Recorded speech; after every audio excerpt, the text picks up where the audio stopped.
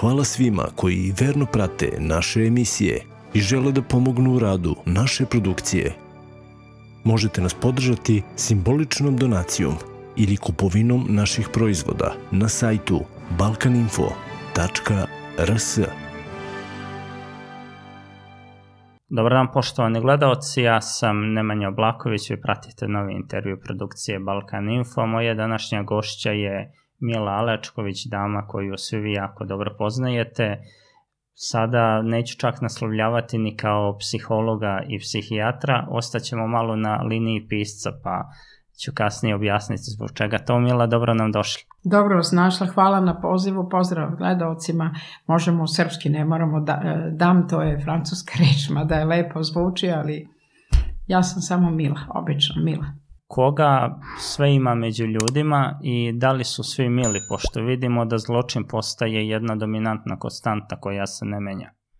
Da, ljudska priroda je jako komplikovana i to sam pričala, evo, hvala što kod vas uvek mogu da objašnjam nešto iz moje struke, jer vi znate da se ja strašno, strašno opirem da pričam ono što svaki novinar možda priča. I obrazovan i onaj poludoučeni novinar u Srbiji. Znači, mi koji nešto znamo i imamo neke radove, neko postignuće, neko delo, a bar imamo u svetu, treba da objašnjamo iz naše struke. Znači, da ne, ne služimo da to da bi vlast videla ko mi je na političkoj sceni simpatičan ili ne, jer me uopšte ne interesuje. E, srpska politička scena me zanima iz meta pozicije, a ovako te ljude, uglavnom ja te ljude ne poznajem. Evo sad ću vam odmah odgovoriti ali prethodno da vam kažem, pošto ste me pitali i dali po, ovaj, u našem razgovoru pre emisije, da li pripadam pokretu otačbina, pa da to skinemo sa dnevnog reda da pređemo na pravu materiju. Da, ja pripadam pokretu otačbina koji smo mi formirali 998. godine u Parizu. I mi smo humanitarni pokret bili koji je odlazio svuda, nosio pomoć i tako dalje nikakvom drugom, e, ima jedna otačbina na Kosovo i Metohiji sa kojima ja nemam nikakav kontakt, e, ako se bore za Srpsko Kosovo istog smo mišljenja, ali ja uopšte ne, ne pripadam njima, niti ja znam, oni su nastali mnogo kasnije. Dobro, ima svako pravo da uzme neku, znači da to razjasnimo. Ja. Mi smo otačbina iz 998. Čak smo i ranije bili koncipirani čim je počelo ono bombardovanje u Republici Srpskoj, ali to je bilo 95. ako se ne varam, ali smo se konstituisali, nosili pomoć, radili, znači to je pokret Srba Evrope e, i mi smo samo humanitarci bili. Što se tiče ovih, i odmah odgovaram na vaše pitanja, ali ovo moram jer ćete vi zaboraviti da me pitate, a meni je to bitno, ovaj, e, da li ja ovde pripadam nekom pokretu, nijednom pokretu u Srbiji ja ne pripadam odmah da bude jasno. Imam prijatelje, bila sam na jednoj konferenciji za štampu mog prijatelja ovaj, Račića, odaz, odazovem se kad me neko pozove, to ne znači da ja pripadam, niti sam član, niti pripadam. I ne, I ne bih ni pripadala zato što ja e, razmišljam na jedan drugčiji način, živeći e, velikim delom van Srbije, naša borba je sasvim drugačija, ono dolazi iz centara zla, znači tamo iz uzroka. Za mene je cela Srbija samo posledica, znači mi se borimo tamo gde je uzrok, tamo gde je početak, to nije ovde, To je, naravno ovde ima raznih uzroka, ali glavni uzrok je na polju. E, moje obrazovanje je takvo, ja radim sa tim ljudima, predajem na nekoliko jezika, borim se na nekoliko jezika. Znači, pokreti ovde koji postoje u Srbiji, ja njima ne pripadam. Možda ću dati podršku nekome u ovom doglednom vremenu, jer su mi neki simpatičniji politički, a neki manje, neki više, ali ne pripadam nigde, nisam nikakav član i samo se, ovaj, kako bih rekla, ja se borim za ideje i za strategije, a ne za članstvo. Ne interesuje me nikakvo članstvo sa ovim sada postojećim figurama e, na našoj lokalnoj, provincijalnoj sceni. Znači da, da to razjasnimo. Pošto smo, to, izvinite, o tome smo pričali, ja znam da ćemo zaboraviti tokom emisije pa da to skinemo, što se kaže, s vrata. Znači tu nikakve veze ne, ja sam nezavisna ličnost koja se bori više u svetu nego u Srbiji, zato što ono što bude tamo bit će i ovde, ovde ću svakako da podržam određene ljude i to već sad činim, ali nisam niči član, niči poslušnik, niko ništa ne može da mi naredi, da mi niti možda me u, u, uvuče u nečije intrige, priče, to me zaista ne interesuje. Ja imam svoj integritet koji je e, potkrepljen na, na raznim stranama, tako da ovo što se u Srbiji dešava u ovom trenutku zaista. E sad, Ajmo sad mi na ozbiljne stvari, na struku, na ono što, što je moj DNK, jer moj DNK je da objašnjavam ono što znam i što je nauka i što je stvaralaštvo, ne samo nauka, jel biste rekli pisac, bavim se ja i slikanjem i pisanjem, čak sam komponovala sad, posljednjih dana sam na jednu ovaj, ja to zovem simfonija, ne znam da će biti u ravni toga, ali trudim se, komponovala sam nešto, pa će biti prilike jednog dana da o tome govorimo. Pitali ste me za ljudsku prirodu. Svi imamo nagon smrti i nagon života e, u sebi, znači čovjek nije inicijalno ni zao ni dobar, može biti jedno i drugo. E, I to su te večite rasprave bile u ljudskoj misli, da li ste vi, e, kako kaže Jean-Jacques Rousseau, da li ste po prirodi dobri ili kako tvrdi Thomas Hobbes, ste odmah se rađate kao vuk drugim vukovima. I to su veoma, još drevnije od njih, naravno, ali to su dve pozicije poznate u svetu, jel? a mnogo su rasprave ranije bile. E, zavisi šta se iz vas izvuče. I e, naravno da je u igri, e, veoma velikoj igri i genetika, i učenje, i rani period, i rano djetinstvo, sve u igri. Pitali ste me kakvi su ljudi. E, trenutno, kad gledamo celu tu svetsku scenu, zato sam o tome i pisala. Srbija je naravno nešto što prati, jer mi smo kao onaj, znate, vuče vas neka zla mašina, a vi idete ko trčite za njom. E, na sceni su danas dosta poremećeni ljudi i oni e, ne vode ništa, to se kaže vode svet, ne vode ništa, oni razgrađuju, oni uništavaju, e, rade naravno potpuno destruktivni posao kao i ova vlast u Srbiji i to su ljudi, i sad se može, koji trenutno su na sceni većinski, kako da kažem, ajde da kažemo, oni sad imaju mandat, jel? Sad se postavlja pitanje zašto je do toga došlo. Tome, to, to je najvažnija zapravo tema. Znate, ja sam i u ovoj knjizi pisala o tim profilima, e, u knjizi sam već govorila pa da je ne reklamiram stalno ovo latinčno izdanje, e, moram da se pohvalim e, zašto sam. Ja naravno pišem čirilicom, imamo čirilično, ali mnogi prijatelji iz Slovenije, Hrvatske, iz celog regiona, Makedonije, dobro, Crna Gora je naša, jel, iz Europe, pa boga mi iz Amerike mi traže, sad mi traže englesko izdanje, još nije gotovo jer ja ne dam da me drugi prevodi, nego sama pišem. I zbog toga je ovo latinično izdanje. E, tu sam e, pisala o tim profilima. Međutim, kad vi pišete o profilima poremećenih ljudi ili da kažemo o profilima zločinaca, sad to su nivoji, jel?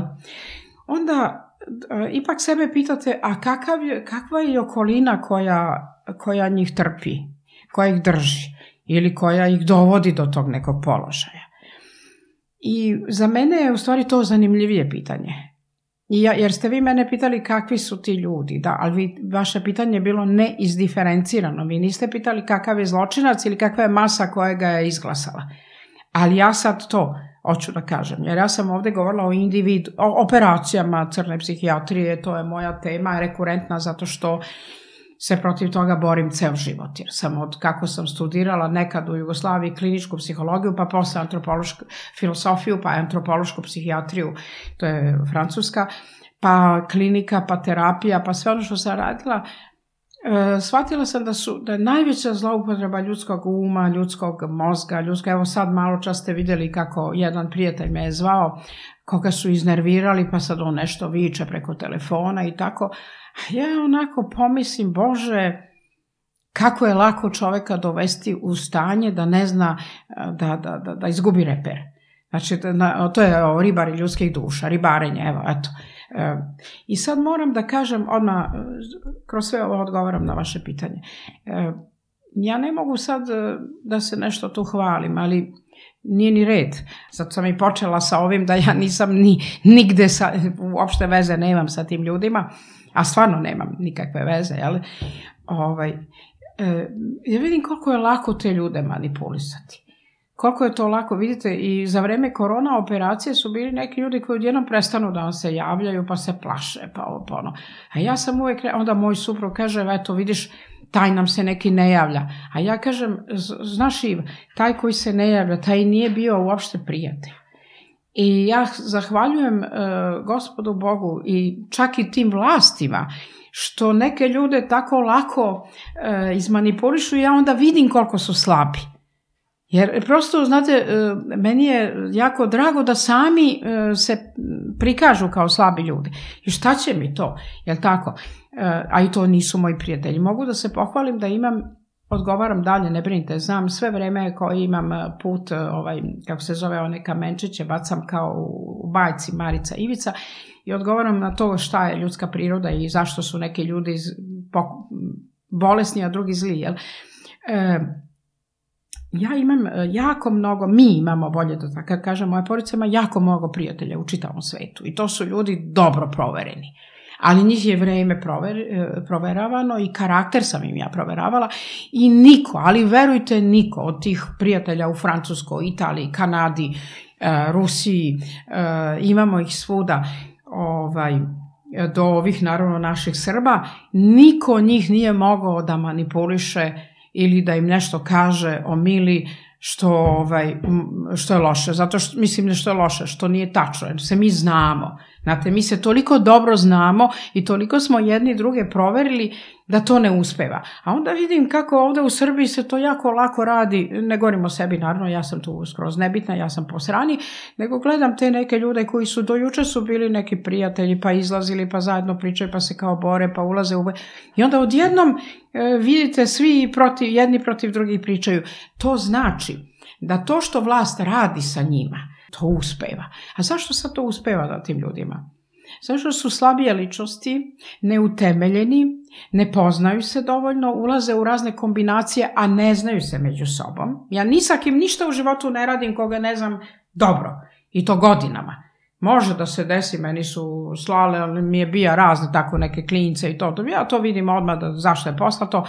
Ovaj, ljubazna sam sa svima, jer u mojoj kući su skoro svi bili, bilo cela bivša Jugoslavija, šta sad ne mogu ja da, jel tako, nije to problem, pa toliko ljudi iz sveta dođe u moju kuću, nije to problem, ali tačno vidim i kažem, sa ovde nema ništa, ovde nema saradnja, ovo su ljudi u, ovaj, dovedeni da nešto tu izvuku, dobiju i tako dalje.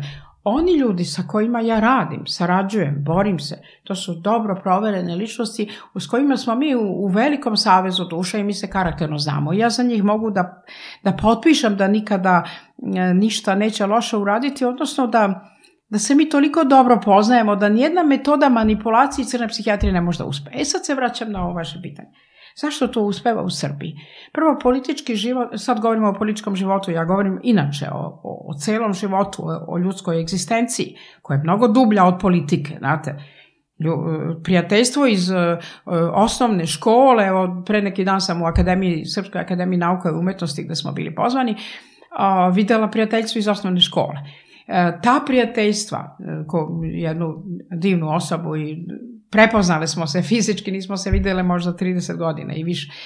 E, ta prijateljstva e, koja su bila prijateljstva, ne površna poznanstva, nego prijateljstva iz ranog e, detinjstva, su mnogo, mnogo dublja egzistencijalno, a vi kad postanete, kad uđete u politiku kao političko biće, odnosno kao zon politikon, vi ste već formirana ličnost. I onda sve to što sklapate interes, politika je stvar interesa, to se podrazumeva, ali Dobro je da postoji i neko poznavanje karaktera, jer interesi ne mogu da se ostvare ako su svi falši, ako se niko ne zna dobro, jel?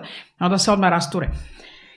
A, vi, to je jedna velika površina u stvari. I onda oni svi uđu u to i svađaju se i vlast ih manipuliše, maltretira, baca im ovaj, zavade. Onda oni javno govore jedni protiv drugih. E, gledam tu scenu kod nas i u svetu je slično, jel? To je jako bedno. E, zato što su površni, što se ne poznaju dobro, što nisu karakterno utemeljeni i što ne proveravaju jedni druge.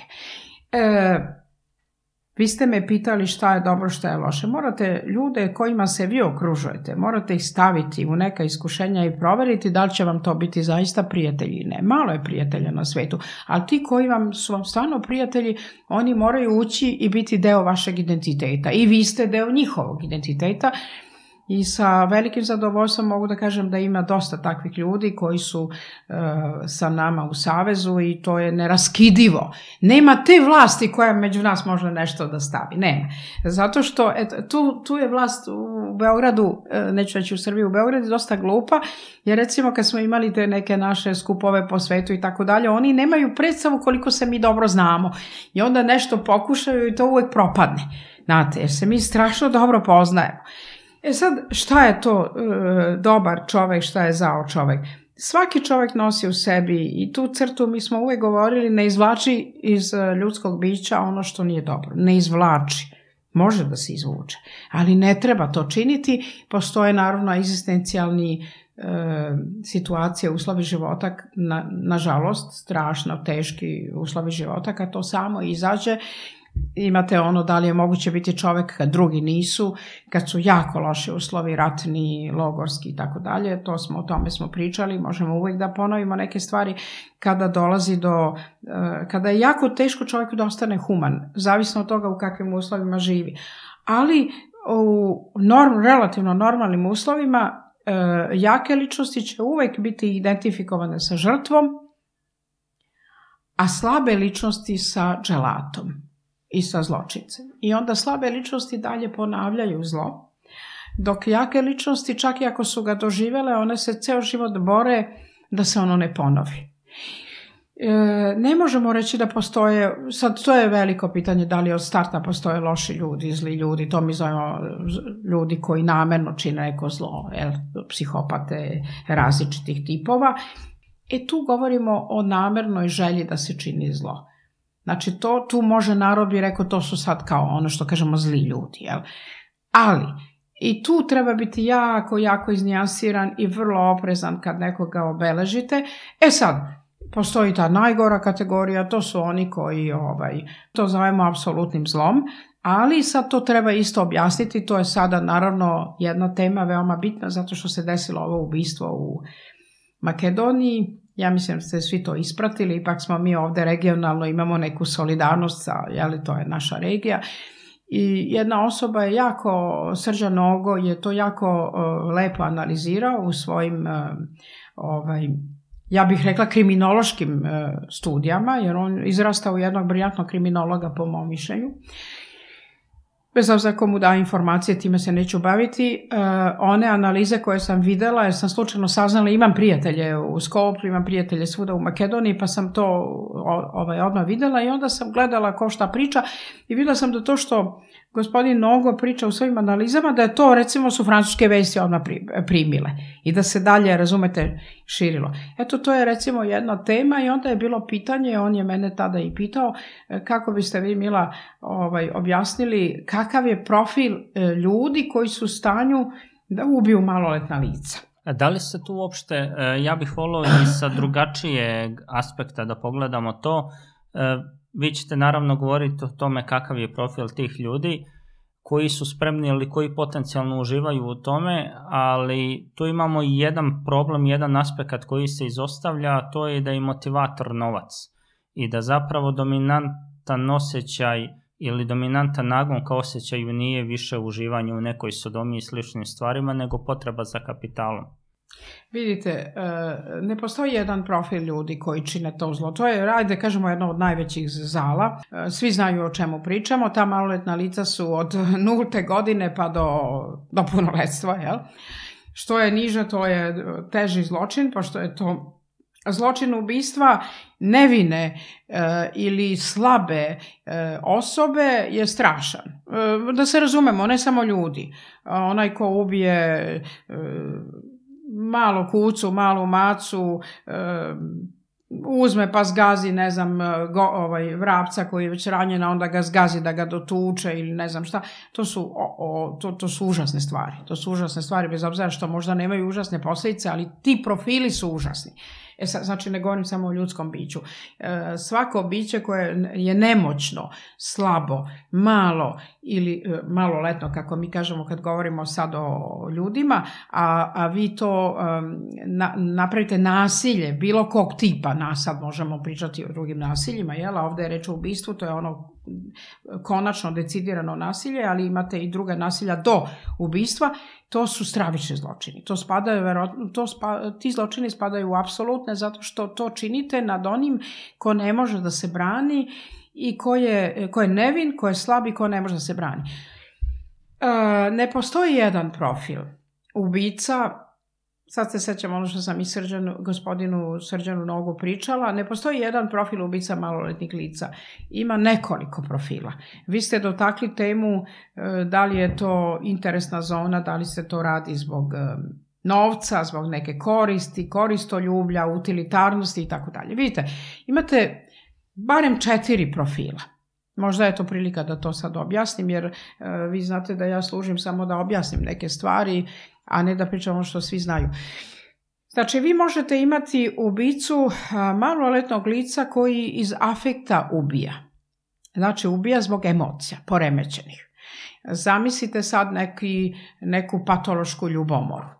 E, sad ćemo reći neki potpuno banalan slučaj, jer treba na banalnom primjeru objasniti. Zamislite sada nekoga koji je da li otac ili neko ili sve, ko, ili muž, ajde, ajde, to je najbanalnija, najprimitivnija scena u našim e, krajevima, e, sazna za neko neverstvo, pa se tu stvori neko malo biće iz neverstva, pa sad dođe do te patološke ljubomore, Uh, i onda ta osoba učini zločin i ubije to maloletno lice jer je ono bilo uh, prokreacija neverstva ili uh, prevare ili eto tako. To je znači, to se kaže pao mu je, narod kaže pao mu je mrak na oči ili pao joj je svejedno, ima nažalost i žena ubica. Šta se sad tu desilo? To je takozvano suženje svesti. Znači, to je afektivno ubistvo je suženje svesti. Sad govorimo o ubistvu maloletnog lica, to može biti i punoletno lice, ali mi govorimo sad o ovome. Jeste stravičan zločin. A šta se obično dešava kod afektivnih ubistava? E, zašto suženje svesti? Zato što osoba ne vlada sobom u tom trenutku. I obično, najčešće, takve ubice a, malo post festom kada dođu sebi osete užasnu krivicu i shvate šta su uradile, jer u tom trenutku čina e, ne shvataju zapravo, zato zovemo to suženje svesti. To je takav bez, takav afekat, takva emocija koja ih je preplavila da rade to e, nagonski, instinktivno, u stvari to rade e, i u instinktu, ali emocije su u pitanju, znači emocije. Šta se desi posle ili ubiju sami sebe, naknadno, ili uh, zapomažu šta sam uradio i tako dalje i tako dalje, život je onda promašen, e, osete znači neku vrstu krivice i to znamo dalje, to su tragedije, vi ne možete zbog toga oprostiti, ali to je takozvano ubistvo u afektu.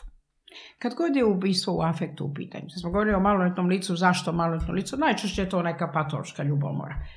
Eto, otkud sad to stvorenje se stvorilo, nije moje, nego je, ne znam, rodila ga sa ne, nekim drugim i tako dalje. To su te banalne, grozne, primitivne situacije, ali to je tako. Toga ima. I sad što se desilo? Desilo se ubistvo koje vi ne možete, vi sad ta čovek jeste zločinac, ali koji je to učinio, ali um, to je urađeno u toplom afektu, u bolesnom afektu. To je jedan profil. Ta, tog ćete, mislim, osuditi na, na, na, na zatvorski krevet, na lečenje, ako uopšte možda se izleči i tako dalje. Nažalost, to su velike drame i obično takvi ljudi, najčešće takvi ljudi i sami sebe ubiju posle toga. Kad shvate šta su uradili. Ili život im je potpuno poremećen, i, znači tu ima, imate nek, neku vrstu, neću reći samo svesti šta su učinili, ali dođe, ipak posle toga dođe do uvida, kakvog takvog. Znači bio je pod emocijama To je jedan profil ubistva. Drugi profil e, se tiče e, takozvano hladnog ubistva. Znate, jer sad hladno ubistvo ima bar tri podvrste. Ja sad to, zato opisujem, pa sad svako neka nađe šta se tu desilo u Makedoniji, šta se uopšte kod nas dešava. Dešava po raznim mestima i kod nas kriminolozi to ne mogu ni da, e, ni da osvetle dovoljno. Um, Kad je hladno ubistvo u pitanju, imate takozvanu hladnu schizofreniju koju je 30. godina opisivao Minkovski.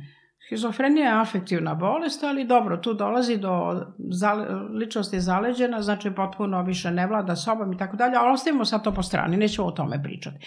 Pričamo o psihopatskim ubicama. U psihopatski ubica ne ubija zbog poremećenih emocija, kao ovaj prvi slučaj. Nego ubija, e, ajde da kažemo najkraće, relativno hladnokrvno i relativno sa predomišljem. Znači, ovaj prvi slučaj očigledno nije bilo s preduvišem, to je napad e, teške, bolesne ljubomore koja je preplavila ličnost, ličnost ne zna, ne zna šta radi. Psihopatski ubica zna šta radi, ali i on nije u slučaju devojčice u Makedoniji, očigledno je ovo drugo slučaj. Ali ni on nije jedinstven i kod psihopatskog ubica imate bar tri slučaje. Imate najgori slučaj, takozvanog nagonskog instinktivnog ubistva. To su epileptoidne psihopate. To je onaj mračni ubica iz mračnog predgrađa, iz parka, recimo neki berberi, najde sad, nije bitno već da li ovakav ili onakav, jer nisam do kraja mogla da ispratim ni taj slučaj malčeskog berberina, ali ja, recimo neko ko je eto tako u nastupu e, nagona, e, nagona, a pazite, nagoni su jedno, emocije su drugo, da odmah razdvojimo. Malo čas sam pričala o emocijama. Sad ovde nisu emocije u pitanju, nego nagoni, znači mnogo niža sfera. To je obično seksualni nagon. E, šta mi imamo? Nagon žeđi, gladi, seksualni, je tako? E, nagon smrti, jer to, to najdublji je on, ali on je egzistencijalni. Šta je sad taj e, nagonski seksualni ubica? Pa čuli ste kad je taj čovek, eto taj lik ili mnogi drugi, kad su ga pitali u jednoj emisiji koja je vrlo nestručno vođena, ali dobro, on je tu nešto rekao, kaže šta se s vama desilo kad e, tako ovaj, ste e, počeli da tu, ne znam, osobu da li davite, šta li. A onda on, on odgovara, pa to je nešto kad, kad mora da se to desi. Ne mogu da se oduprem. Čak nije bio toliko glup, nego je rekao, eto, tako teže, kaže, ne mogu to da, tome da se oduprem. Prosto, tad kad dođe, dođe. I to mora da se desi. Pazite, šta to znači? To znači odlično opisan nagon. Kad dođe, dođe.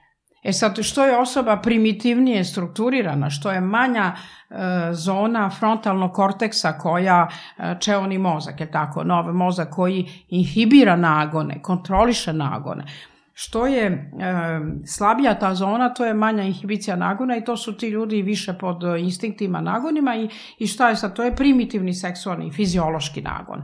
Znači, taj koji ubija iz fiziološkog nagona, to su nažalost obično silovatelji i davitelji dece. E sad, šta je razlika između tog silovatelja i davitelja dece koji je ne, nesumljiva psihopatska struktura i onog prvog ko, kome sam, ovaj, koji sam opisala? Pa prvi je pod bolesnim emocijama nešto učinio e, u suženju svesti, kad je postao svestan šta je uradio, e, došlo je do velike tuge, sažaljenja, kajanja, užasa jer je osvestio i, i, i odjednom ta krivica je nastala, jer su emocije u pitanju. Emocije su visoka zona u odnosu na nagone. Ovde, kod psihopatskog nagonskog ubice imate samo taj nagon koji ga natera da siluje ili da obično siluje, to su seksualni krvni delikti, je tako? E to vam je taj najgori deo psihopatije koji ubija nagonski, ubija iz, uh, mi bismo rekli ubija kao zver. Ja se vrlo opirem toj reči kao zver zato što zveri nisu zle, i, nego opasne su, ali nisu zle i zato što jako volim životinje i znam da zveri nisu krive. Kriv možda budeš samo čovek. Ja tako? Ali znači to nam je prvi profil iz kategorije psihopatije. Najniži oblik ubistva psihopatskog jeste to, e, kako da kažem, nagonsko, instinktivno, e, seksualno, fiziološko potreba gde se isprazni osoba. E sada, zašto je psihopata? Zato što posle toga nema krivice. Samo se, to je samo pražnjenje. Ubije e, maloletno biće ili biće, može to biti i čovek i, i dete i životinja i tako dalje i ispraznio se, ali nema osjećaja krivice kao u ovom prvom slučaju gde su bile emocije, razumete? I to, e, to kvalifikuje da uđe u grupu psihopatija, jer nema osjećaja krivice. To je najniži oblik psihopatskog ubistva. Imamo viši oblik psihopatskog ubistva kada je u pitanju ideologija. Kad je u pitanju ideologija, onda tu postoji čitav sistem zašto psihopata ubija. I onda nije sam.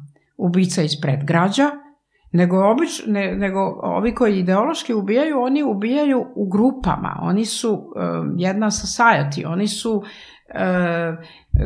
zajednica, oni su deo društva, oni su, obično su deo vlasti i deo vrlo moćnih ljudi, bogatih ljudi i tako dalje. I oni ubijaju iz, iz ideologije, ali nikad nisu sami. To je, znate, ideologija je deo koji deli sa određenim ljudima, sa određenim grupama, sa određenim hjerarhijski postrojemnim ljudima. Tu imate te najteže kriminalitete, koji počinju sa P, evo zbog vaše emisije, neću sada da vam ne bi to, mada znate šta, to je stvar nauke, to o tome mora da se priča i tako dalje i to svi govorimo, neće vam to cenzurisati. Znači tu imate recimo ideologiju e, da određena, mi smo kod maloletnih ovaj, ubistava maloletnih e, bića, znači to su stravični zločini, to ste imali sad kod ovog slučaja Epstein, jer tako, tu ste imali to sad, ceo set bruji o tome, neće vas niko tu cenzurisati. Tako. Ali to, to je zanimljivo e sad, da je sad, sve to tolerisao, gde se to još iz 2012. Sad, slučaj. Zna se mnogo ranije, zna se mnogo ranije, Pierre Jovanović iz Parize o tome odavno pričao, pa sam ja to videla i, i taj spisak i sve to, sad to svi pričaju, ja sam to videla pre najmanje 10 godina. Znate, zato što se on je to govorio, pa nije niko hteo da uzme to u razmatranje dok se nisu neke stvari strašne desile. Tako. I vidite, tu je u pitanju, sad to je jedan paradigmatski slučaj toga, toga ima na raznim mestima, bilo ono čuveno uh, suđenje u Belgiji, onog jednog monstruma, Zašto kažem da je ideologija? Zato što to ne rade pojedinci. Kad radi pojedinac uh, koji je bolestan, psihopatski sadista, eto to smo ovaj drugi slučaj koji smo razrešili, on nema podršku. To je taj uh, slučaj koji je kriminalan, vi ga uhvatite, šta se s takvim čovjekom može raditi, to je sad veliko pitanje, ali ajde tu sad stavimo jer ne ulazimo u dalju analizu kako postupati, nego smo opisali fenomen. Znači, to su ljudi koji su sebe ubedili da oni imaju pravo da čine neke zločine. Kod svako, svaki psihopata želi da uradi nešto što niko drugi ne sme, a on sme. To je to takozvano transkrediranje. To imamo uvek kod psihopate, ali ne stvaralačko transkrediranje da učini neko delo e, da napravi neko stvaralačko delo koje niko nije uradio, nego e, zločin koji niko ne sme, ali on sme on ili ona, svejedno govorim impersonalno. Zašto? Da sebi pokaže da je iznad, da je über, da je nad, da je moćan, da mu se ništa neće desiti. Nažalost, mnogima se ništa i ne desi. I to je onda ideološka priča. Jer takvi ljudi sebe ubede, ja, mi smemo da ubijamo. Pa sad koga? A vi ste me pitali za maloletna lica, to je najstrašnije, na, na tome držimo. A ko sme to da radi? Pa izvinite, bilo je jako mnogo u svetu tih grupacija koje su se upravo tako organizovale da vrše ta, tu vrstu kriminaliteta nad maloletnim licima i šta se sa njima dešavalo. Prvo, nikad nisu sami bili, uvek su ih štitili neka, ne, štitila neka moćna lica u vlasti, To znam iz, jer je otac e, moga supruga sudija e, bio baš u nekim takvim slučajevima i on kaže ja ga osudim na doživotnu robiju za neke, zna? Jer posle dve godine ga neko iz, visok, neko iz vlasti izvuče iz zatvora. Neko plati za njega ili tako. Znači, to su, to su ljudi koji su umrženi ajde da kažemo kratko, umreženi, štite se među sobom, e, ima ih na raznim položajima, nažalost, najčešće su, su vezani za visoke pozicije i za veoma moćne i za veoma e, imućne ljude, odnosno bogate ljude. I razni bankarski karteli učestvuju u njihovom spasavanju, u njih i tako dalje. E sad to možda ima političku pozadinu, kao što je imalo u slučaju ovoga, iako je imao to ostrvo, jer je on radio za neke službe koje se koriste od kako i sveta i veka kompromat metodama. Šta su sad, ti umre, šta su sad te umrežene psihopate? Znači, on, oni rade zajedno, oni rade kao neka community, kao neko društvo, kao neka zajednica. Ne mora biti sekta, to može biti vrhunsko neko društvo u vrhovima vlasti koje sebe štiti. Obično mi pričamo o nekim masonima i ovde tako ljudi pričaju jer ne znaju o čemu pričaju. Ja ne bi pričala o masoneriji to je ozbiljna tema. Imate plavu ložu koja je intelektualna, znači tu ima svega i svačega. Ne možemo tako da banalizujemo. Ali svakako da u određenim društvima, takozvanim neformalnim centrima moći, kako se to kaže, postoje određene patološke psihopatske osobe koje se udruže na osnovu neke moći, a to je obično politička i finansijska moć, koji idu zajedno i onda čine zločine zajedno.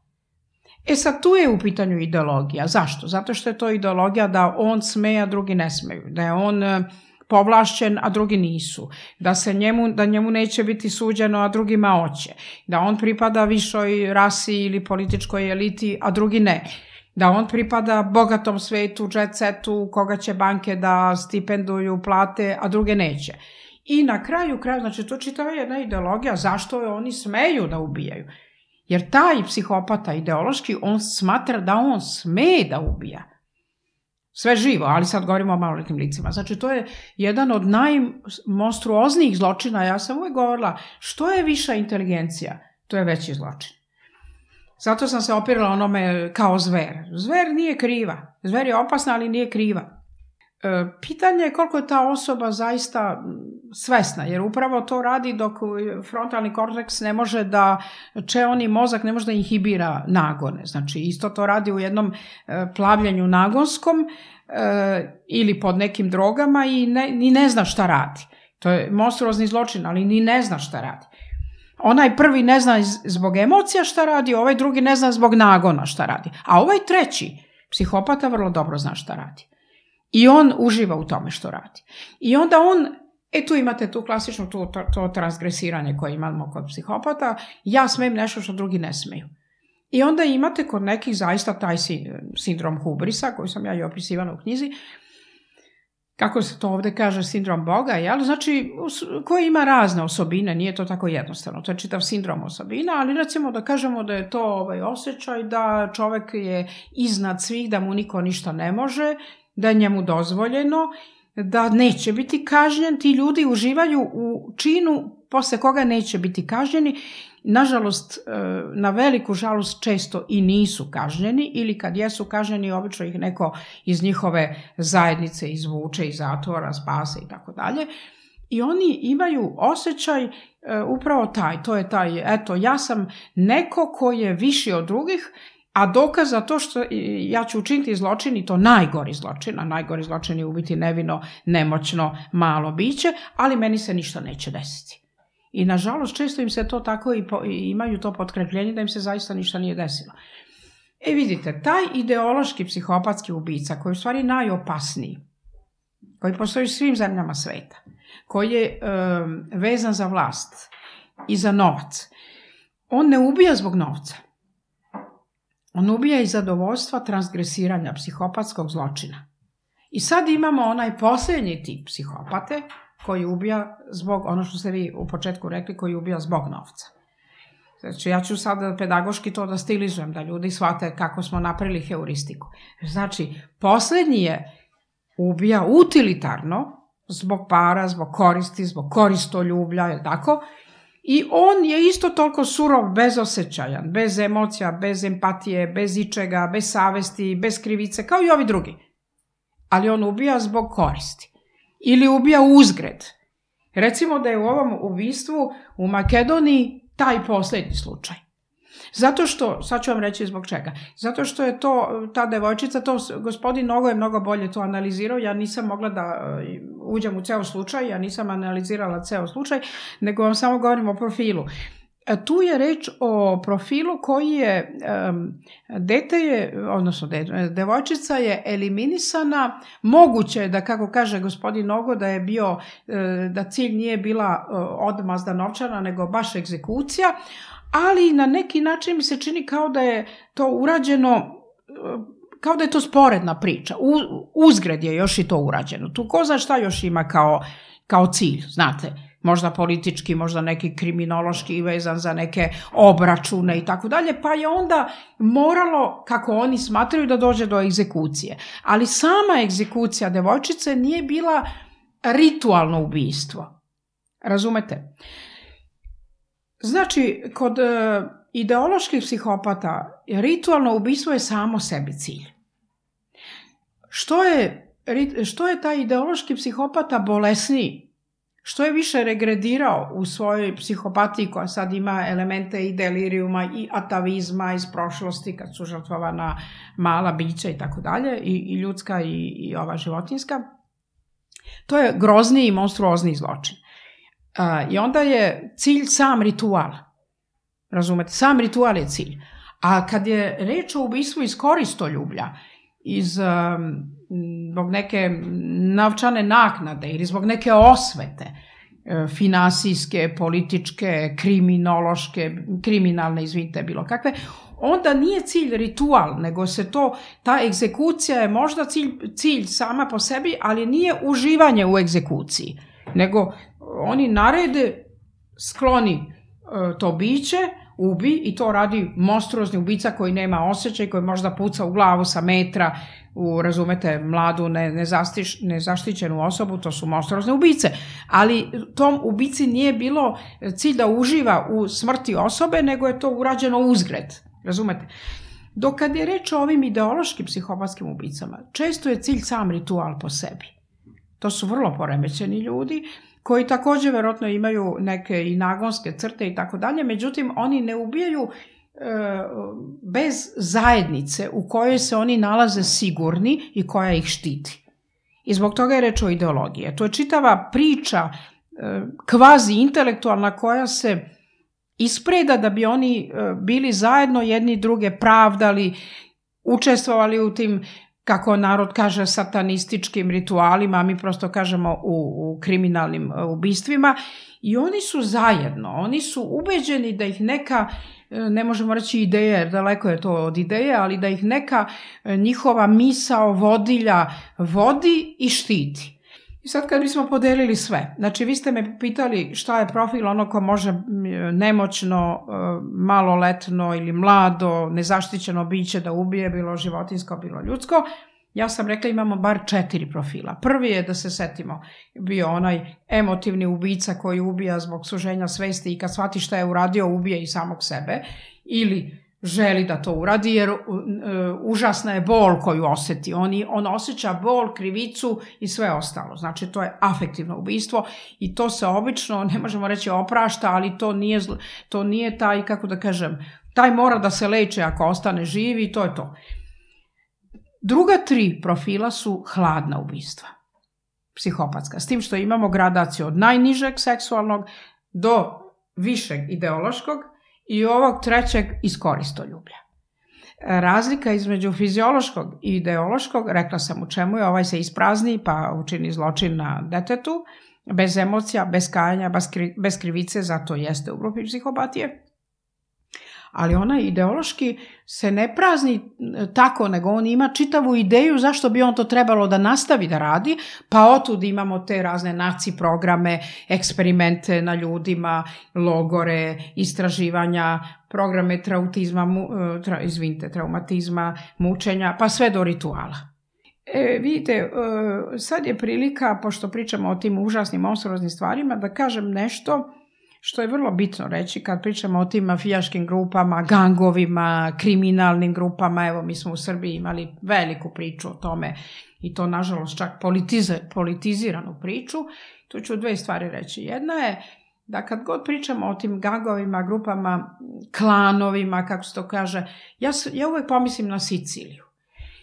Moj suprug ima jednog pretka koji je, daljeg pretka po ocu, samo jedno koji je sa Sicilije i to baš ima ono De Sansoneti, lepo, lepo prezime. Ovaj, I onda ja uvek pomislim na tu Siciliju i na njihove obračune. I uvek kažem, evo sad prikada to kažem, nikada, nikada ti gangovi nisu ubijali ni žene, ni decu. Nikada. Znači, to je bilo, mislim, jedna mafija u državi i mafija u mafiji, kako hoćete, ali se taj moralni kodeks je bio jasan. Znači, pored tih psihopatskih činova koji osobi olakšavaju čin nekog surovog ubistva, ono je bilo iz nekih razloga koji su imali svoj kodeks. To je, to je jako bitno reći, jer to je sad jedna posebna grupa unutar ubica. Razumete? Posebna grupa koja se drži nekog moralnog kodeksa. Kad smo govorili o, o ovim, e, kako se zove, ovim psihopatama e, ideološkim, Oni nemaju moralni kodeks. Oni samo imaju sindrom hubrisa, znači sindrom veličine Boga, njemu se neće ništa desiti. A to ne počiva na moralu. To počiva na teoriji da je on iznad ili da su oni iznad. E sad, e, to, to je vrlo bitno kad se setim, e, ovaj, pošto svi znamo o toj sicilijanskoj mafiji i sve, znači to je jedna posebna grupa, da kažemo, ubica pravednika, po znacima navoda, koji to rade iz nekog političko-societalnog programa, ali imaju svoj moral koga se drže i oni se drže tog primitivizma da se ljudi fizički eliminišu kad su neprijatelji, ali se tačno zna, zna kad se sme, kad se ne sme. I nikad se ne svete na ovaj slabijima u smislu nemoćnih, e, maloletnih i tako dalje. To ne sme. Znači, postoji nešto što ne sme. Nema transcendiranja kao kod ovih ideoloških psihopata, krvavih zločinaca, ritualnih i tako dalje. I još nešto bih se setila sad kad pričamo o te grozne teme, odnosno te užasne teme, ali to mislim treba ljudima neke stvari objasniti, čabe da, da svi ušuškavamo se, to zaista postoji, ljudi moraju da znaju koji fenomeni postoje, nažalost, pošto ste me pitali, vaše prvo pitanje je bilo o ljudskoj prirodi. Naravno da postoje izuzetno humani, dobri ljudi, daleko od svega ovoga, mi idemo metodom eliminacije. Znači prvo pričamo o negativnom da bi na kraju došla do pozitivnog. Imate moram da se setim ovom prilikom i naš, jednog od naših najvećih kriminologa koji je nekim e, čudnim slučajem e, nestao u toku ove e, C operacije, C19 operacije i meni je bilo jako žao jer ja nisam videla da je on ni bolestan ni ništa i nije bio ni star, to je slobodno možemo reći moj kolega Zlatko Nikolić, jedan od, mislim kolege, ja sam jedno vreme radila kao ovaj, kriminologa, ali hvala Bogu više ne. Međutim, imam ta znanja i iskustva i mogu o tome da pričam, prosto iz moje struke. Uh, ja sam veoma poštovala Zlatka Nikolića, on je bio inicijalno sociolog koji je u bivšoj Jugoslaviji bio upravnik raznih zatvorskih odeljenja i, i, i, i kape domova i tako dalje i može se reći, dobro ne možemo sad da baš uopštavamo, ali može se svakako reći da ga, e, da ga zatvorenici, e, da su ga zatvorenici i volili i poštovali, jer je bio veliki pedagog i izuzetno humana ličnost. U tim uslovima, zatvorskim, biti humana ličnost mnogo znači. Evo i sad smo imali slučaj, ne znam, Barkića u zatvoru i tako dalje i uvek se treba setiti šta, e, kakav je profil tih ljudi koji rade po zatvorima.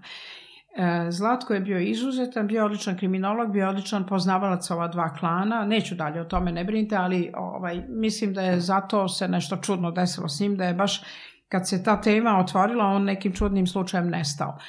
Ja, pričajući o ovim monstruoznim e, profilima, želim samo da njemu odam poštu. On je bio vezan za razne vlasti, što nije moj slučaj, ali je bio pošten čovek. Ja sam s njim uvijek mogla da pričam, njega je vlast možda htjela i da upotrebljava i ova i ona, ali on se držao neke svoje struke, nije bio kritičan prema vlastima kao što sam ja, međutim on je bio pravedan čovjek koji, se, koji je gledao da e, svoje znanje, svoju struku gde god ga neko pozove, objasni i tako dalje, izuzetno je stručan bio. Baš zato što je došao, nije došao iz same forenzike, nego je došao iz sociologije. A posle sve to naravno radio. I on je jako dobro poznavao ljudsku prirodu, a poznavao je i prirodu društva. I to je ono što je bitno, jer kako vi možete da pričate o zločincima ako ne pričate o društvu u kome oni žive? U takozvanu psihoanalizu to je prvo unela ova sociopsihoanaliza koja je prva postulirala u našoj materiji da zli karakteri, psihopatski, sadistički, surovi, analni e, jesu takvi i zbog genetike i zbog lošeg vaspitanja i tako dalje, ali i zbog društva u kome žive. Jer ako žive u surovom društvu, u surovom kapitalizmu gde svi jedni druge sapliću, e, eliminišu zbog novca, intrigare, bacaju, da imate onaj darvinistički ona kompeticiju eliminativnu, bez emocija, Pa kako se, kako se osoba, kakva se osoba formira u takvom društvu? Znači, ta sociopsihoanaliza je učinila toliko da nama koji smo objašnjavali kako izgleda ontogeneza osobe, znači šta se dešava od rođenja, jel? u stvari od intrauterinog perioda pa do rođenja, pa kasnije do odraslog stupnja, da kažu da, ali i društvo je bitno. U kom društvu živi taj čovek? Da li čovek živi u društvu gde je eliminacija normalna, gde je analni karakter normalan, jer svi su škrti, svi su sebični, svi su uh, grabež, Veltan Šaunge ukradi, zgrabi, jel, to je slika sveta, Znači, taj čovjek živi u tom društvu. I utoliko je Zlatko to bio među prvima shvatio i on je uvek govorio, ne možemo samo, naravno mi to znamo iz teorije, ne možemo samo da gledamo porodični kontekst i samo e, lošu genetiku i loše vaspitanje od ranog detinstva, nego da vidimo u kakvoj sredini živi taj e, čovek i u kakvom društvu, ne samo mikrosredini, nego i društvu. Šta je to društvo? Da li, ko, šta se vrednuje u tom društvu? da bismo videli da li će onda obija kola, da li će da ubija životinje, da li će da ubija maloletna lica, da li će biti mass shooting u školi, pa će uzeti pa pobiti svoje vršnjake i tako dalje. Znači, ti sociološki faktori su strašno važni. I tu je Zlatko bio briljantan jer je našao ravnotežu, to je ovo što ja naravno radim, između genetike, ontogeneze vašeg ličnog života, vaspitanja do 6. 7. godine i naravno zajednice u kojoj živite i koja vam daje model i medija koje gledate i e, užase koje gledate u tim medijima koji vas kasnije i tekako oblikuju i daju vam snage da krenete tim e, ovaj, psihopatskim putem. Znači sve je to u igri, sad sam samo odala poštu Zlatku Nikoliću, što smo mi bili dobri prijatelji i on je u ono vreme želeo da ja budem direktor instituta za kriminološka istraživanja i sociološka i tako dalje. Na sreću to se nije desilo, na sreću po mene, jel? Tako da tu ću ovaj, o tome stati. Znači, pričajući o ovim monstruoznim profilima, e, još jednom rekla sam da oni koji su e, skloni tome da počine najgori mogući zločin, a to je da eliminišu nemoćno, maloletno ili jadno ili slabo biće, imate bar četiri profila. Prvi je ovaj e, emotivni, afektivni, koji ne zna šta radi, znači to je psihotično stanje, ne možemo oprostiti, ali ta osoba može da oseti krivicu i obično i sama sebe posle eliminiše. I ova druga, e, izvinite, i ostala tri profila koji su svi hladni, premeditirani. S tim što, uh, kako da kažem, hladni psihopatski, to sam tada da kažem, s tim što je prvi najniži jer je e, nagonsko-seksualni, ali isto tako bez krivice, bez emocija, zato je u psihopatiji. Drugi je mnogo viši jer je ideološki, Znači, to je sad program, to je program koji rade određene zajednice koje ritualno ubijaju i treće je isključivo iz koristoljublja. Razlika između ovog, e, koji, ovih ritualnih i onog iz koristoljublja, još jednom da ponovim, je u tome što ovi koji to rade ritualno oni to, oni, e, kako da kažem, njima je cilj sam taj ritual, znači u njemu oni učestvuju i u, u, uživaju u ritualu, dok onaj koji to radi a, iz koristoljublja ne uživa ni u kakvom ritualu, nego to beskrupulozno, a, e, hladnokrvno i psihopatski, zločinački radi, ali uzgred za novac. Njemu nije cilj krvavi ritual, nego je cilj dobit. I u ovom slučaju ubistva u Makedoniji Ja mislim da je ovaj poslednji e, primer e, u pitanju. A sad se moramo srodnuti na to što ste pomenuli, e, koliki uticaj zajednica može imati na ljude ili smo ipak predodređeni za neke stvari? Znate šta, zajednica ima veliki uticaj, e, ali mi jesmo i predodređeni. Ja kad sam bila student, ja sam e, davno, e, pre nove ere, ja sam e, E, priređivala jednu knjigu, baš me profesor Iva Ivić pitao, kaže, e, šta će vam to, šta, što to čitate, neka debela knjižurina bila, trebao neki prikaz da napravim, izabrala najdeblju.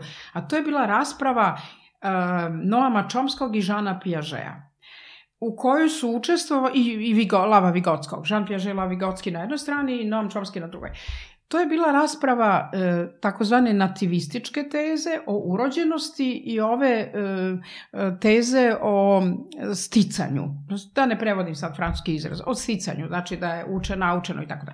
E sad u toj knjizi je hiljade naučnika učestvovalo u njihovoj raspravi. Oni e, inicijalno raspravljaju šta je urođeno, šta je stečeno Ali tu se javljaju biolozi, sociolozi, psiholozi, lingvisti, hemičari, jedna onako beskrajna rasprava, da bi na kraju svi zaključili da je odnos negde 50-50. E, mada postoje vrlo zanimljivi e, ovaj dokazi, jer Noam Chomsky 60. godina prošlog veka ušao, on je sad kao neki teoretičar koji nije bog zna šta shvatio u ovo poslednje vreme, ali gotovo starije, pa neću o tome. U ono doba je on bio mladi psiholingvista u stvari lingvista koji je ušao u psiholingvistiku i 60. godina prošloga veka on je e, izneo svoju hipotezu da je jezik urođen. I time je onako zapanjio javnost naučno, to je bila veoma onako jedna zanimljiva hipoteza, svi smo o tome, pri, svi su naučici o tome pričali i tako dalje.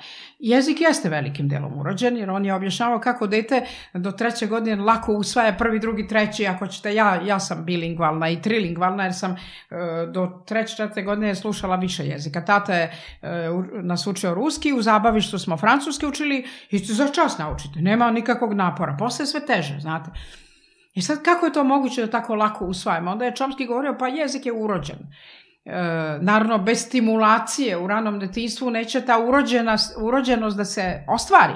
Ali jeste svakako da postoji taj urođeni potencijal. I onda je, a, a Piaget je bio na strani toga da je jača ova strana učenja. Znači vežbe, kako se stvara, on je opet dao teoriju inteligencije u ranom detinstvu, pa kako se stvaraju od senzomotornih šema preko ko, intuicije, konkretnog stupa inteligencije, sve do one abstraktne inteligencije u pubertetu koja je e, propozicija matematičke formule, razne logičke propozicije i tako dalje, koje to je visoka abstrakcija koju nemate u ranom detinstvu. Pa je onda u teoriji inteligencije pokazivao kako se to razvija u životu. E sad,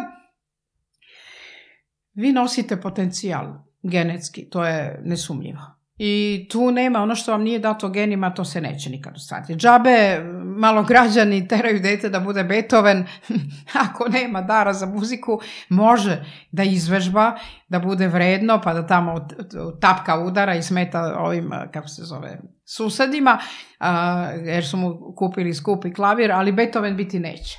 Možda izvežba nešto i da svira, to je mehanika, ali neće biti Beethoven. A s druge strane, e, jer nije dato u potencijalu, nije dato u genskom potencijalu, ne možeš napraviti genija od onog ko to nije, ali vežba može da se svašta uradi. S druge strane, e, možda je dato ovaj, nekim ljudima genetski mnogo toga, ali ako, ako je stimulacija u životu nikakva i ako nemaju neko ko će to da izvuče iz njih, ni to se neće ostvariti ili će se ostvariti mnogo kasnije u životu kad je već taj voz prošao i tako dalje, ali oni su bili za nešto nadareni, nažalost nisu to ostvarili, nisu imali dobre uslove. Znači, e, bez onog što je dato u potencijalima, ono što nije dato toga neće biti, ali ono što je dato može da se ne razvije ako su loši uslovi života. E sad, ako je i dato i dobri uslovi života, onda imate odličnu stvar.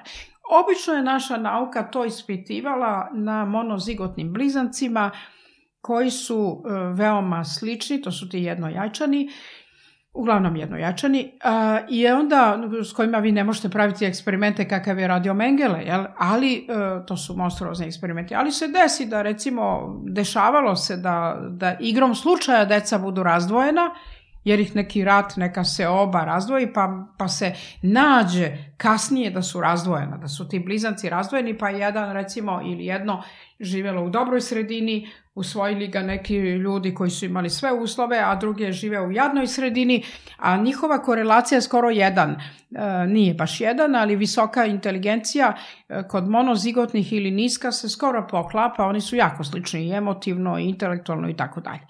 Dobro, nije jedan, ajde, 0,90, ajde. E, sad da ne banalizujem. Znači, a sad pazite, odvojeni život, životnim okolnostima, jedan živi ili jedno dete živi u dobroj sredini, drugo u lošoj. I nauka ih na kraju, nauka, ne smemo da mi to radimo, to se dešavalo, bilo je takvih situacija. Nauka ih na kraju nađe. E, nađe ih. I sad gleda gde je ko. E, znači, potencijal genetski im je bio vrlo sličan, recimo visoke sposobnosti. Jedno je dete živjelo u dobrim uslovima, drugo u lošim. Šta se sad desilo? Da li postoji razlika? Pa postoji. Postoji velika razlika, što, što ide u prilog sredinskih činilaca, da je ipak učenje, stimulacija, sredina su jako važne. E, ali sad se postavi pitanje da li ovaj koji je bio u lošim uslovima, kad ga stavimo naknadno u dobre uslove, može li brzo da nadoknadi, jer ima veliki potencijal genetski, ili ne može. I tu je, tu je zaista e, problematika i dalje naučna. Neke osobine, e, izvite, neke sposobnosti može brzo da nadoknadi, što znači opet u prilog nativističke teze da je ta genetika jaka, a neke ne može. Znači, neke stvari, ako mu date e, jako dobre uslove života, a našli ste ga, na primjer, nije star već, nego, na primjer, u, u 10. 12. godini, može dosta toga brzo da nadoknadi, jer je onaj potencijal i dalje jak genetski. I to se e, u, u, učenjem dobija, e sad on to post festum naknadno nadoknađuje. Vrlo brzo. A zašto brzo? Zato što ima dobar potencijal. Znači, opet je u igri genetika koju nikako ne smemo da zapostavimo. I sad, to je lako pitanje kad mi govorimo o ontogenezi čoveka. To je od tačke rođenja, odnosno ja ne bih rekla od tačke rođenja, nego od intrauterinog perioda, znači od stomaka majke. Jer beba u stomaku majke već i tekako upija. Vi nemate uh, ovo cerebralno svesno pamćenje koje je zvanično nauka prati od treće godine života. Uh, Ja mislim da ide mnogo ranije. Ja recimo imam neke slike, a tata mi kaže kad sam te nosio tamo, ne, ne znam da je, uveo me u Rusku crkvu, ja sam počela da vrištim, da plačam jer mi je bilo hladno. I on kaže, pa imala si nepuni godinu dana, znači, ali ja se sećam te slike, znači nije cerebralno pamćenje svesno nije od treće godine, nego sigurno mnogo ranije, sigurno sam da je mnogo ranije, ali ajde sad da kažemo, nauka kaže od treće godine. Međutim, vi pre toga imate pčelijsko pamćenje fetusa. Fetus je u majčinom stomaku, on sve pamti. Vi se po, mama se posvađa, majči, nečija majka se posvađa, e, potuče, ne daj Bože, ili drogira, pije alkohol, šta sve radi, to se pamti fetus. To je ćelijsko pamćenje. To nije moždano pamćenje, ali to je ćelijsko. Znači sve, to, to biće dolazi na svet sa upamćen, upamćenim situacijama. Jedna moja prijateljica je rekla, kaže, pijem kafu, on mi kaže, ritne kafu. Naljutio se, kaže, što sam nešto vikala, ritne kafu i, i stomaka, ritne i baci. Sad imate tu neke slatke, onako, ovaj, komične stvari. Sve to taj fetus upamti. Znači, mi ne možemo da pođemo ontogeneza nije od čina rođenja, nego ono, od kako ste začeti. Je tak? Zato jeste neke vrste abortusa jesu svakako ubistva. Sad ne raspravljam da li sam za ili sam protiv, ali konstatujem. E, I to je taj sad vaš individualni život. I sad mi pričamo o toj genetici i onom što je naučeno u tom vašem ontogenetskom životu. To je ontogeneza, to nije filogeneza. E, ta, to me uvek ta tema da li smo nastali od majmuna ili ne, uvek me je to iritiralo zato što ovaj, e, kreacionisti kažu da nismo, ali da vam kažem, meni je to posla besmislena tema, jer što god da se desilo s nama, ako Boga ima, svejedno je on to sredio, znate. I ta, i, i ta darvinistička teza ne može bez neke tvo, bože tvo, tvorevine, razumete? Tako da je to, logički je to besmislen sukob. Ali dobro, imamo tu ontogenezu. Sad neko pita ovo što ste vi pitali, ali na drugi način. Pa kaže, dobro, to su sad ti geni naši koje smo donili na sve, to je čitava nauka u koju ja ne mogu da ulazim jer ja nisam genetičar, ja ne znam. Ja znam eugeniku samo intelektualno. Mi se bavimo, e, eugenika je plemenita disciplina kako izbeći genske bolesti, koja je postala crna eugenika u doba nacističkog perioda, ali pre toga je bila bela. Još uvek ima belih. E, ja se bavim intelektualnim, ja mogu da razmišljam o tome zašto postoji genetska bolest kognitivnog tipa, to je idiotija, kretenizam, mongol, mongoloidnost i tako dalje. To je naša materija.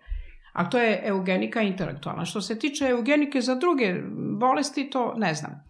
Jer su to ozbiljne nauke i svako se specializuje u svojoj struci. I vidite, sad neko kaže, Pa dobro, to su sad e, taj mali neki e, stvor donosi gene određene, pa će to su genski potencijali, ove učenje i tako dalje. A sad ima neko ko bi pitao vaše pitanje pa će reći, a čije on samo gene donosi? Jer to, šta je sad, kakav je taj splet? Majka, otac, e, baka, deka, čukum baka, preci, koliko to daleko, kako se nasleđuje. E to je sad jedna ozbiljna nauka koja je stalno u povoju, mnoge stvari otkriva, ali to je jedno dosta polje čak e, i neispitano.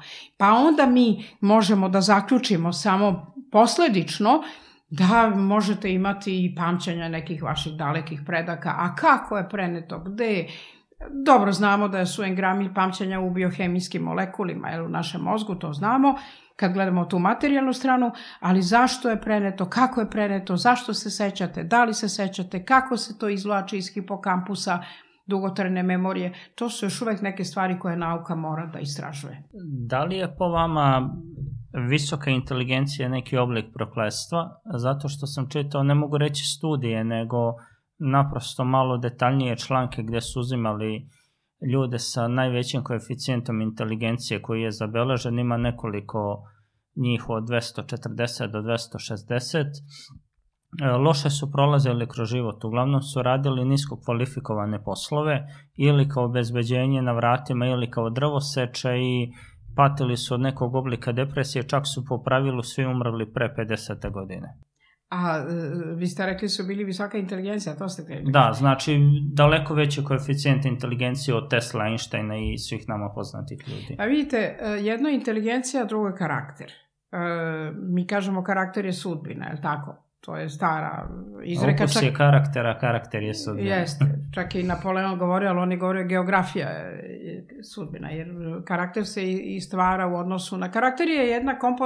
Karakter je vaša struktura To je ono što, što mi kažemo do šeste, sedme godine života je data ona baza za karakter, pa se pos... emotivna, pre svega emotivna, i za životinjicama, ali i za ljude, jednako važno. Ne morate biti psihoanalitičar da pričate o etipalnoj fazi, možete biti etolog, biolog. Etolozi, biolozi znaju isto da je rano detinstvo, evo Rene Zazo, francuski e, biolog, poreklo ljudske osjećajnosti. I kod malih životinjica, taj prvi krucijalni period ranog detinstva je jako važan. Što, kad pričate o inteligenciji, prvo e, po, pojam šta inteligencija je vrlo komplikovan i zato mi uvek smeta kad neko iznosi u javnost neki količnik i tako dalje. Imate ove sada um, komercijalne stvari, moje, ne znam, količnik 200, ovo je ovo, ovo je rekla Mensa da sam ovo, što kaže jedan moj prijatelj, jedan je bio tu, a garantujem da je priglup, ali on je, kaže, ja sam član Mense, taj neki direktor u pošti. A ovaj kaže, ovo je rodni član menze, pa je, pa je pobrkao. E, naša generacija nije smela uopšte to da priča tako. Samo se opisno smelo reći, visoko inteligentan, manje inteligentan, jako sposoban, izuzetno sposoban, nesposoban, izuzetno nesposoban. Nema brojki. Znate, ne? Prvo brojku ne možete dobiti jednim testom, nego baterijom testova, pa onda morate dati kognitivne testove. Verbalne, neverbalne, pa motivacione, pa kreativne, pa projektivne, pa psihopatološke. I posle imate samo procenu ličnosti. A vi sad date tamo neki bezvezni testić i kažete moj IQ je toliki. To su gluposti. Sad kad ste me pitali za visoku inteligenciju, šta po tim podrazumevamo? Jedno je genijalnost, kojom se ja to, takođe bavim u istraživanjima, a druga je visoka inteligencija. E, mi možemo da kažemo da Ajde, možemo da postuliramo da nema genijalnosti bez visoke inteligencije, da je to, na primjer, nužan uslov, ali nije dovoljan. Zašto nije dovoljan? Zato što kad je čovjek genijalan, to znači da je naglo razvio neke sposobnosti koje, zašto je neko genijalan? Zato što drugi to ne znaju da urade ili ne mogu da, ne mogu da naprave takvu, recimo, simfoniju koju je mogao neki muzičar, ne mogu takvu sliku, ne mogu takvu poeziju, ne mogu, razumete, ne mogu tako da sagrade neku zgradu. E, e, ono što nas jako fascinira kao ogromno delo, mi kažemo da je to genijalnost. Da li je to samo visoka inteligencija? Nije u genijalnosti učestvuju određeni darovi. Kako kaže narod talenat, ja tu reč ne govorim jer je to para. Znači, dar. Visoka inteligencija plus dar daje genijalnost, ali mora da ide negde da pređe sve oktave, razumete? Da bi to zaista zatreslo čovečanstvo, kako kažemo, da promeni paradigmu pa da onda kažemo genijalno delo, imate genijalne paradigme, ne znam, kopernikanski obrat, ovo ono, e, Gutenbergova galaksija i tako, to su sad te paradigme genijalne u istoriji čovečanstva. Sad kad govorimo o individui, šta je genijalna individua? E, odgovara na vaše pitanje, zašto se ti ljudi nisu snašli? Da li je to bila samo visoka inteligencija ili je to bila neka visoka kreativnost e, koju drugi nisu imali oko njih pa nisu mogli ni da je razumeju, pa je onda njihov život bio takav. Jer pazite, genijalni ljudi, sad smo na terenu genijalnosti, prvo ne bave se politikom. Odmah da vam kažem, što ne znači da ja preporučujem ljudima da se depolitizuju, naprotiv. Svi smo mi političke životinje, evo ja se bavim na sve načine politikom, se bavim metapolitikom. Ja nisam ničiji partijski drug, niti me to interesuje, bar ne na taj način i bar ne za sada. Ali vi se bavite time što, ja mnogo više delujem na, na, na ljude time što im objašnjam neke fenomene nego što ću sada kao partijski drug kažem glasaj za mene, glasaj za mene. To, to, tek tad ljudi ne re... Kad vi suštinu objasnite, vi ste onda u pravoj politici. Uh, genijalni ljudi se ne bave znate, ima jedna posljedica koja kaže prosečni ljudi pričaju o drugim ljudima, a genijalni ljudi o idejama. E, I to jeste donekle tako. Zamislite vi sada Nikolu Teslu e, da je on bio predsjednik neke političke partije. To je nemoguće. On je toliko genijalan da on nema vremena da gubi na, razumete, na sastančenja sa upaljenim cigaretama i sa ubeđivanjem ljudi da budu manje korumpirani ili da stanu na stranu ovoga ili da budu onom pokretu, a ne onom ili da, ne znam, se prodaju ovome, a ne... On je genije. Genije se ne bavi time. On, on ima ideje koje mora da ostvari. Ima delo koje mora da ostvari. Kako je sam Tesla rekao, vidi mašinu, ja, je, ja sam je već opipao, nje još nema, ali ja imam taktilnu halucinaciju mašine.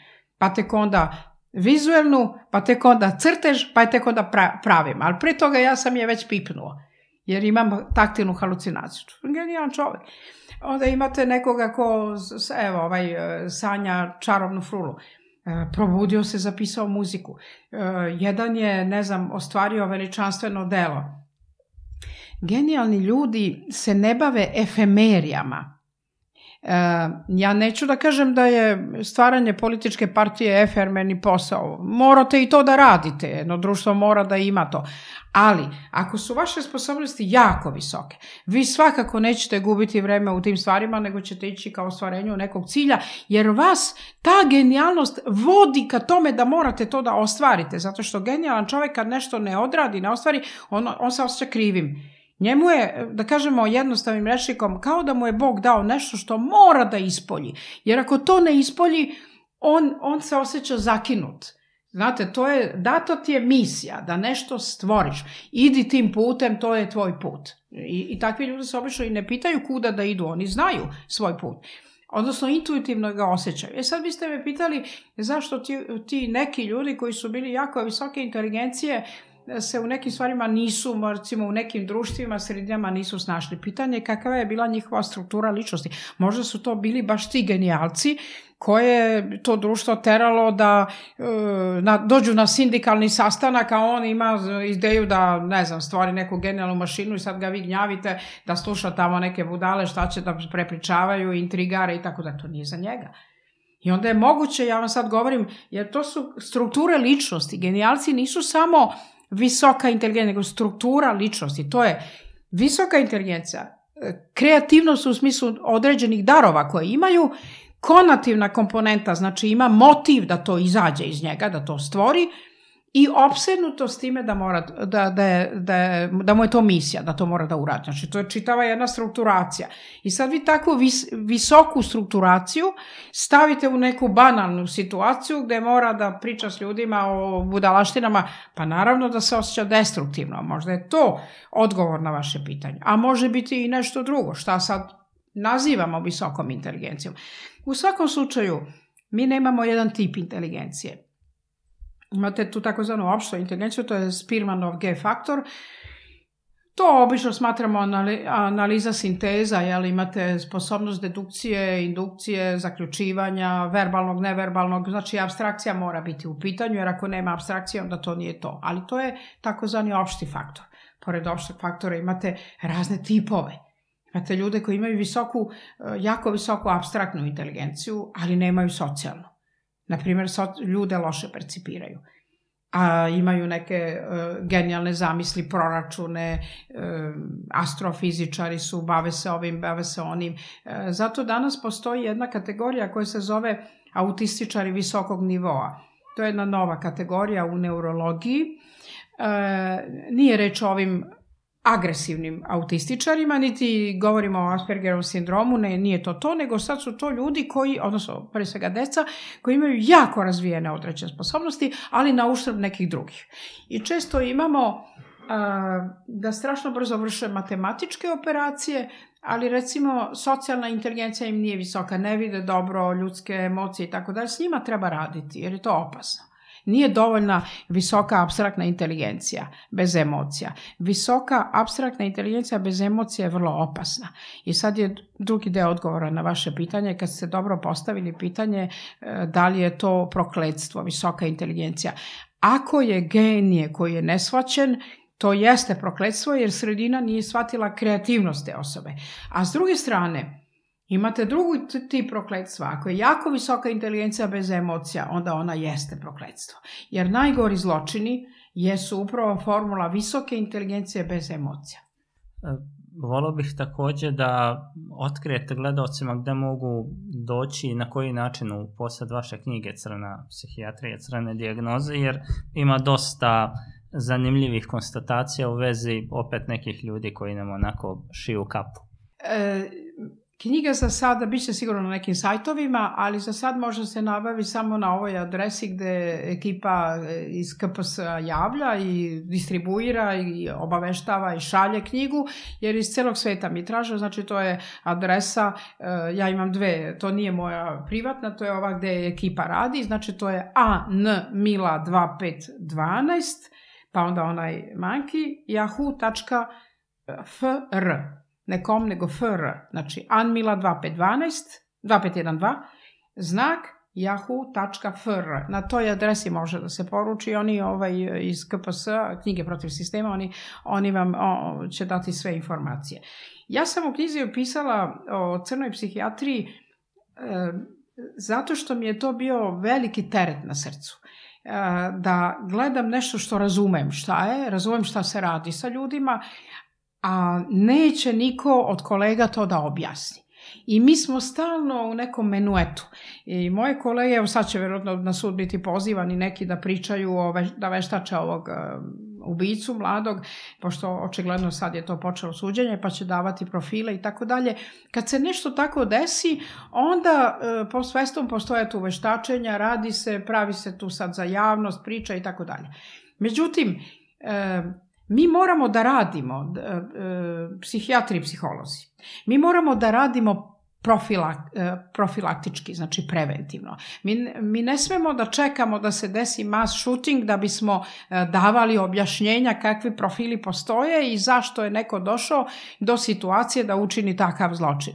Mi moramo da objašnjavamo preventivno ljudima, kao što sam ja 2019 I 2020. kao što znate, pre svega na vašoj televiziji, doduše je bio drugi voditelj, ali vaša televizija, kad, su, kad, je, kad je taj video imao 700.000 za nedelju dana gledanosti, zašto? Zato što smo pričali šta se radi s ljudima. Jer je taj program počinjao i ja sam odma rekla ljudi, ovo je program, ovo je program crne psihijatrije koji nema nikakve veze sa, mislim ima veze s medicinom, ali medicina je taoc zarobljena kao taoc, ovo ima za cilj nešto drugo. E zašto sad to govorim? Zato što će se sad ponovo nešto tako pripremati i nemojte se plašiti, svet je video šta je rađeno, to što je video četiri godine kasnije. Ali mi smo to govorili, ja se sećam tog 10. E, marta kad sam ja bila pitana, evo ovde sam sedela, 15. marta su uvedene one mere, 10. marta je bila emisija, I, I pitanje je bilo šta se sprema, rekla sam program Milgrama. Šta je to? To je testiranje do koje mere možete ljude da od njih pravite plastelin.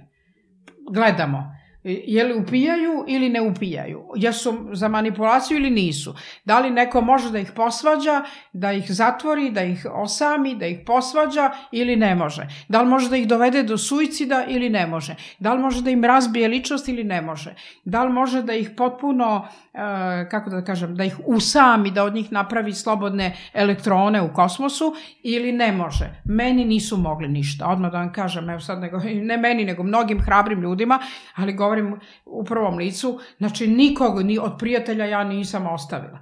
Niko, nisam ni na šta nasela. I sada mi kaže, zato što sam počela ovu emisiju sa tom temom, da me jedan e, prijatelj zove, nešto se e, ljuti, ne znam, ovaj, tamo su ih razbijali, pravili intrige, ma ne zanima me, čoveč, uopšte me ne interesuje.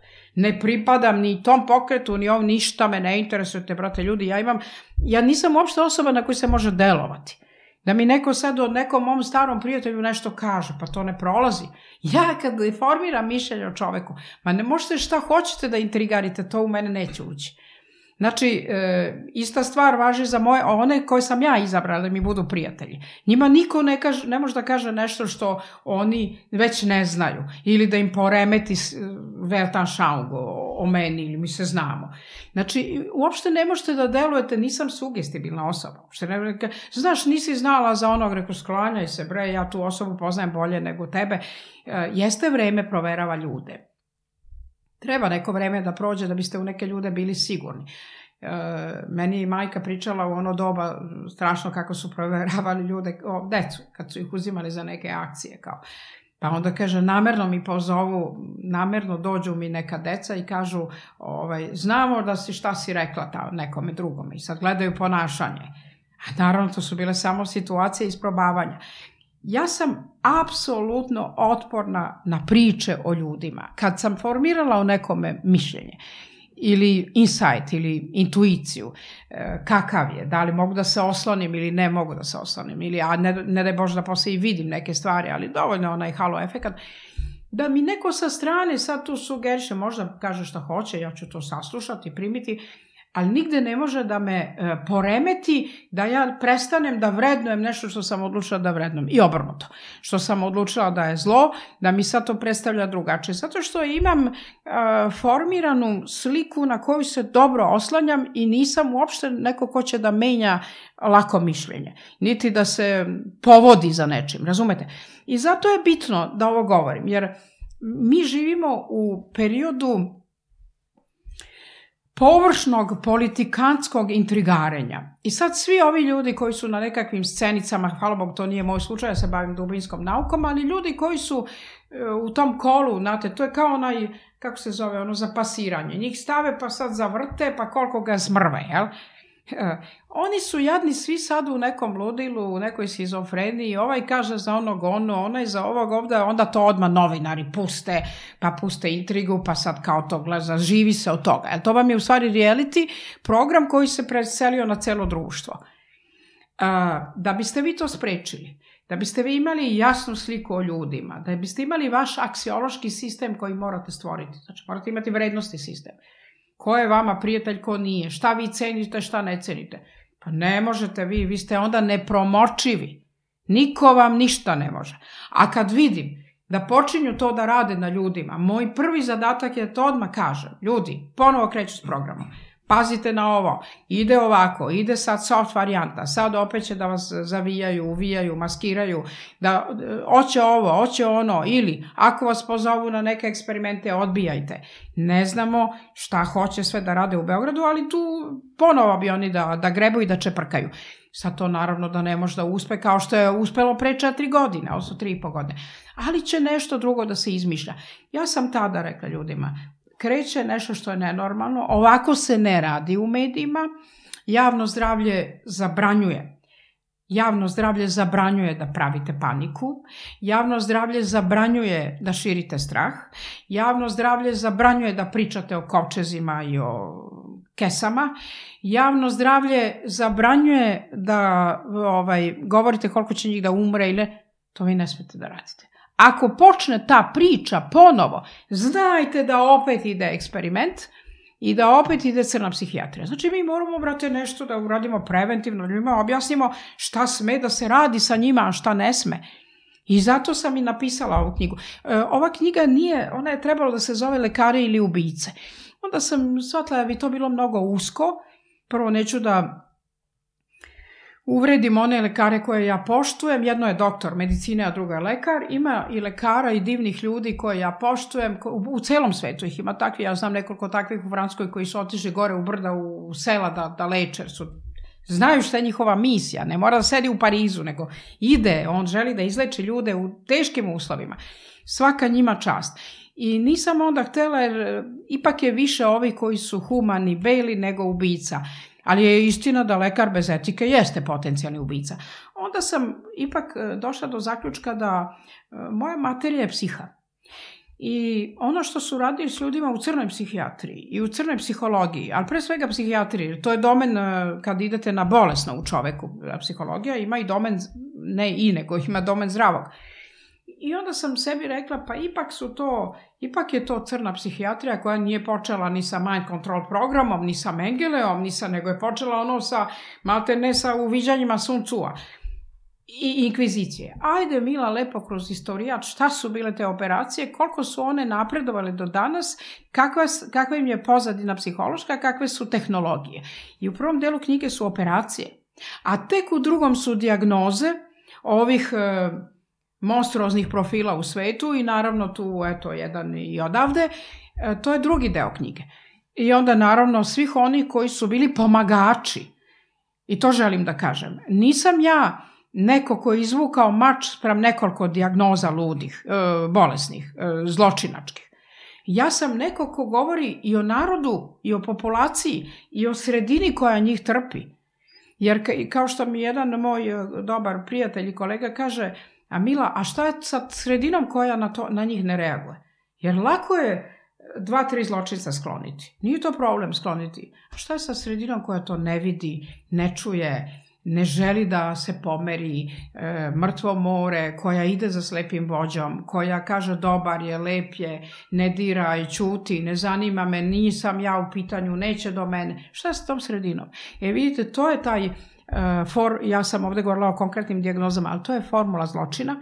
I u jednoj emisiji sa Smiljom Avramov smo o tome zapravo pričale. Ona je pitala šta je formula zločina. Ja sam rekla, formula zločina je nekoliko teških psihopatskih zločinaca. Evo, u prvom delu kod vas sam opisivala te koji maloletne su u stanju da ubiju, bilo u emocijama, bilo u nagonima. I onda mrtvo more svih onih koji to ne vide. I koji ih slušaju. I koji ih pravdaju. I koji se zaljubljuju u njih. To je simbiotičko ludilo.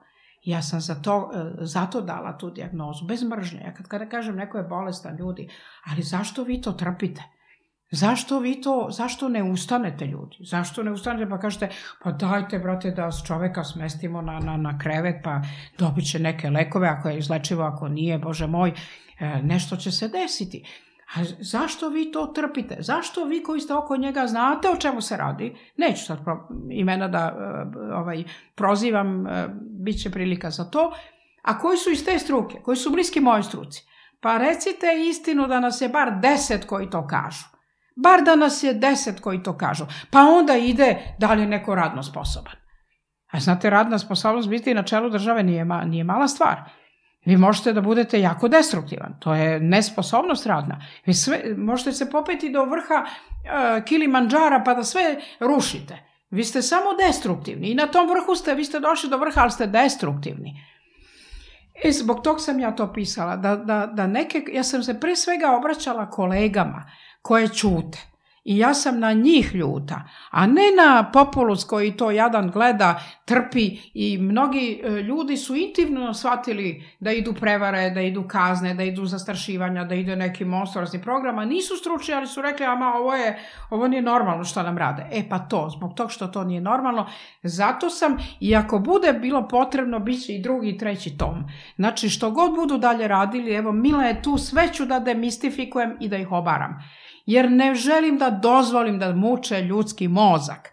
E, ne možete od čoveka napraviti stvar i ne možete naš um i naše biće i naš DNK humanosti tako poniziti da nas tretirate kao glodare. Ja ću svaki put da se trudim da demistifikujem, samo krenite drugovi iz sveta sa novim operacijama i ovi potkupljeni ovde, opet će biti novi tom i opet ćemo ljudima objašnjavati šta rade. Mila, hvala vam najlepše. Hvala vama što mi dajete priliku da govorim nešto što nije partijska priča, nego eto dubinska nauka i ljudska egzistencija. Poštovani gledalci, hvala i vama na pažnji. Hvala svima koji verno prate naše emisije i žele da pomognu u radu naše produkcije. Možete nas podržati simboličnom donacijom ili kupovinom naših proizvoda na sajtu balkaninfo.rs.